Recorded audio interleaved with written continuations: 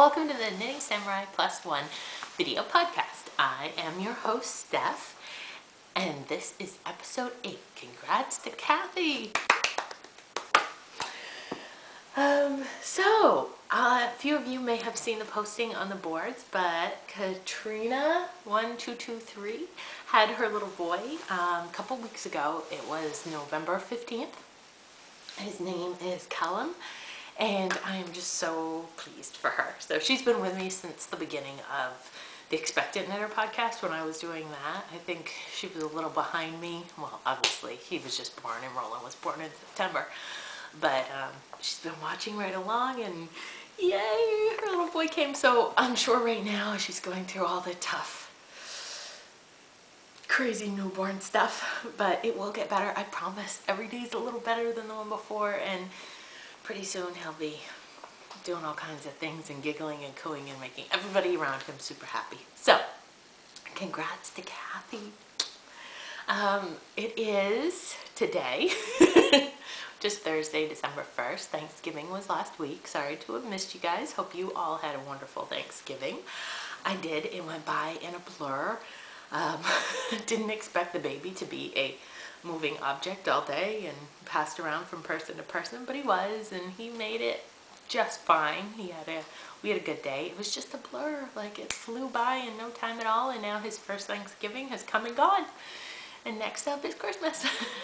so um, we had a good time, saw lots of the family, and Roland wore a sweater that I knit special for him, and he uh, he wore his shoes. I did buy him shoes, so it was just really funny.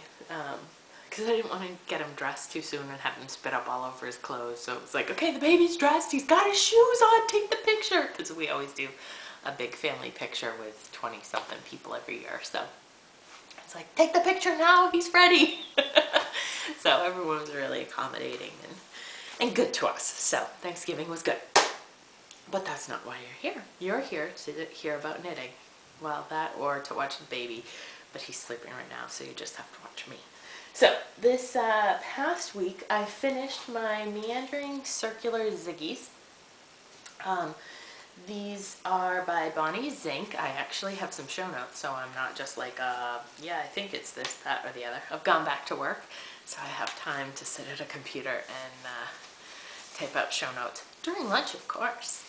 Um, which, speaking of going back to work, that's an interesting thing. Um, it's different now that I have a baby, and I swear I'm going to get a speeding ticket trying to get home as fast as I can to see him at the end of the day, because it's really long to go all day without seeing him. But anyways, so show notes, yes. Meandering Ziggies with a Zag by Bonnie Zink. These are knit on US 1.5 to 0.5 millimeter needles. It The yarn is three use. That would be the monitor kicking in. Really? Okay, three use twisted in fiber and this is the Tweedles colorway. I really enjoyed knitting them and um, the zigzagging shape, so the part that goes up, see if I shift it, could you see it a little better? To see how that goes up it made them a little small. It made them a little small for me, so they're going to be a Christmas present by default. So that's nice. Um, yeah, and as I was going along of the cuff, I did add some stitches to the back of the calf for calf shaping to make them, to give a little extra room since they were a bit narrow through the foot and up the leg. But I think they will fit her perfectly. So these are finished and off my needles. And once they came off the needles, of course, another pair of socks had to go onto the needles. So these are the Giles Wavy Socks by Ann Campbell.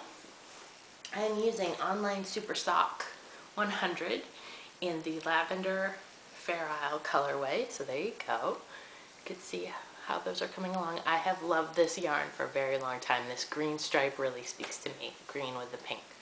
So Again, another like zigzaggy. I can't just do straight stockinette stripy sock yarn all the time. So um, another Christmas, well, it's not really a Christmas present. It's for January, but it's another gift for somebody. I am uh, using 1.5 millimeter needles, 1.5 US, 2.5 millimeter needles. Yeah, so that's what's actively on the, the needles this week. Um, but soon to be returning to the needles will be the Elizabeth Zimmermann sweater I was working on for Roland in Fiber Nymphs Sundays Coming. So I had, uh, if you may recall, that I was going along like crazy and then I realized, ah, I'm running out of yarn. Sorry, I dropped a stitch there. And so I stopped and I ordered yarn and now the new yarn is here. So it arrived yesterday, so I should be able to finish it. I did have her dye a skein of the green color as an accent in case I wanted to use that for the sleeves instead of going with the um, striping. I think, or continuing on with the striping, I think we're going to be good. I think I'll just continue with the striping and say there you go. Stripy sweater for my boy. Very crazy. I think of this as like a Mardi Gras color. The gold and purple and green. So that is back in action or will be tonight. So look for updates on that. And Lisa's so sweet. She was a little late in sending me my yarn. And so she also threw in a skein of the amble. It's a short skein so I can knit him a hat or socks to match the sweater. So super sweet of her. And of course this is such a pretty happy color. The yellow just makes me go yee! so that will be returning to the needles. Um, in the mail this week, I got a wonderful, or Roland got, I didn't get it, a wonderful sweater from um, my friend Allison Lucy 325 on Ravelry.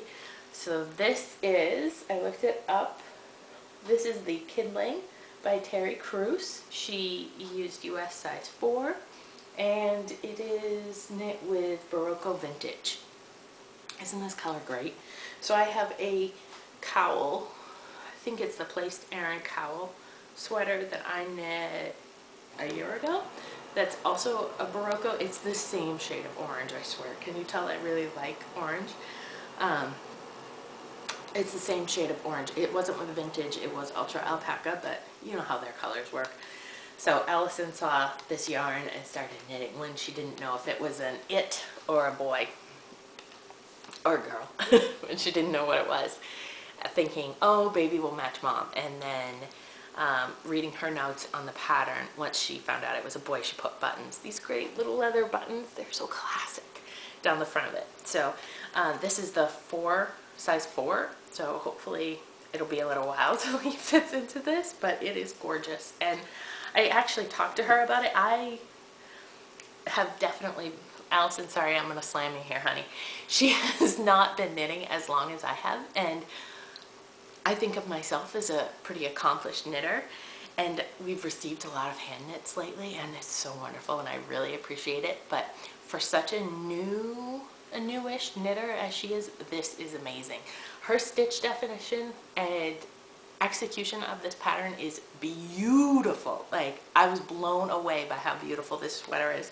So I talked to her about it and she said that she um, steamed blocked it, steam blocked it, which I never do. I am a wet block and let it dry, but, and usually that gets, you know, your yarn is, it gives it more of a fluffy feeling. This looks like it's pressed and perfect. It looks so good, so good. And it's not that she's a bad knitter. Please, I'm not saying that at all. Don't be hurt, honey.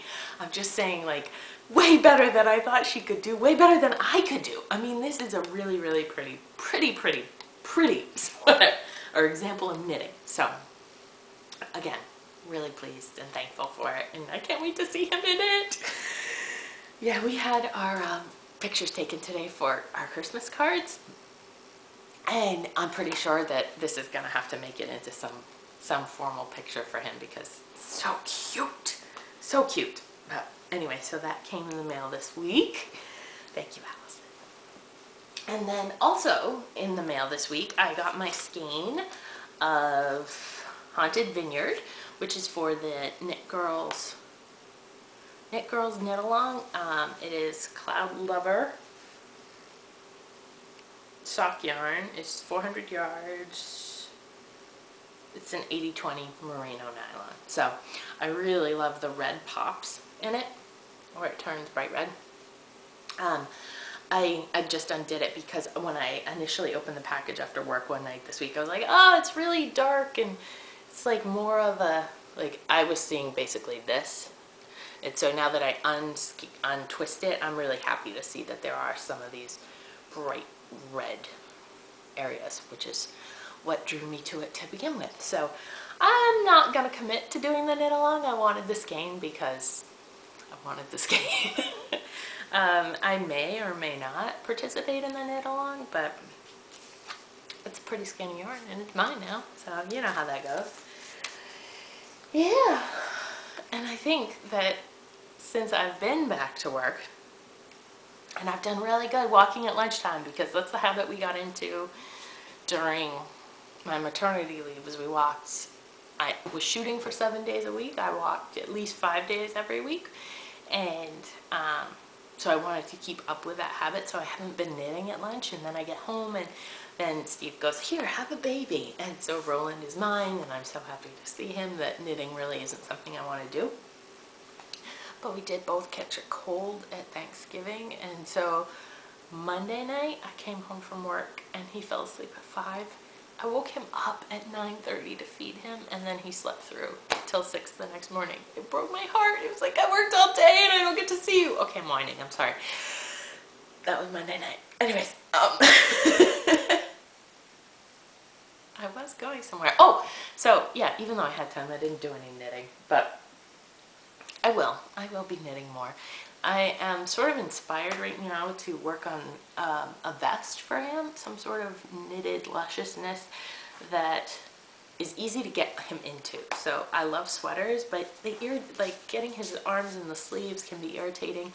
And he's good, like we keep our house pretty warm, you know, he can wear his long sleeve sleeper or onesie, but then just a little extra layer of warmth on his chest I think would be nice. So there are three patterns I'm considering. One you have seen before, the Pembroke by Kristen Kapur. Um, Sheena, she, hmm, Sheila D37 had knit Roland one. I think it was part of her, I know it was. It was for her podcaster challenge project. Was she knit one of it? Mm, she knit one. There's what it looks like. And um, sent it to us. She did the six month size and at six weeks old it fit him. So um, maybe if I do the 18 month or the 2T size, I could get one that would fit him now. He's wearing, he's 12 weeks old and he's wearing, he's just starting to fit into nine month clothing like the six month is getting stretched on him. So I'm thinking I might do that one. Or I'm going to do, I'm not sure about cables, I'm not wild about that. I really just want like a simple vest, but, or I will do the Owl Baby Vest by, serious, her name doesn't print?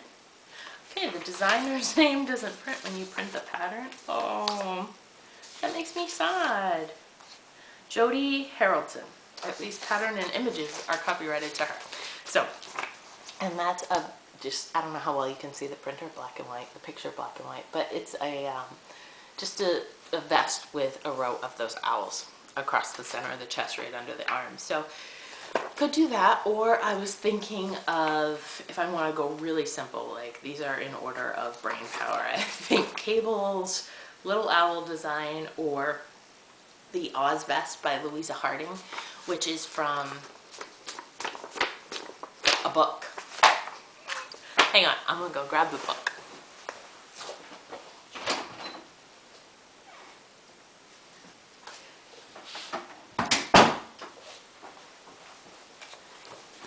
It's very convenient when I record downstairs because the closet in the living room is where I keep all of my knitting books and then my sock yarn. Um, so the Ozvest is in Natural Knits for Babies and Moms. I think this was my first knitting book. I know I've shown it to you before. I've probably knit half of the patterns in here. I've made the Oz vest before for one of our friends and now that I have a little boy I understand that it was laughably small for him like maybe the first two weeks of his life he could have worn it but you know the things you don't know until you know them There's a lot of them. And I'm just flipping and looking. There it is. Okay, I was looking for a striped vest because the one I knit was striped, but this one is not. It just has little garters on it. So that's the Oz vest. And what size sizes? Fits up to 12 months. So if I knit the biggest size, it might fit him for a little while. But it doesn't take very much yarn to make this. So one of those three vests will be on the needle soon. Anyone want to knit a vest with me? if you do, let me know. Maybe we'll start, we can start a thread and do a little knit along on the board. Um, and that's about it. Congratulations, Cathy. I hope you are loving every minute with your little guy because God knows I love it all with mine. So, um, have a great few days until I speak with you again. And yay! I don't know. I'm just excited. It's a day off. And yeah, love, and joy and happiness to you. So, talk to you soon. Bye. Um.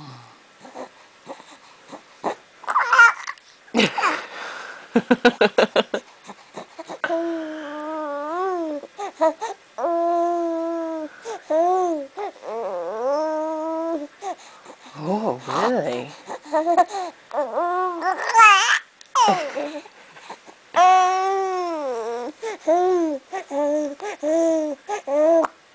Oh. What did you dream?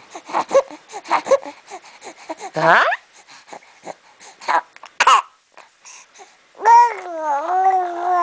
Yeah? You tell that camera. You tell it, honey. Huh?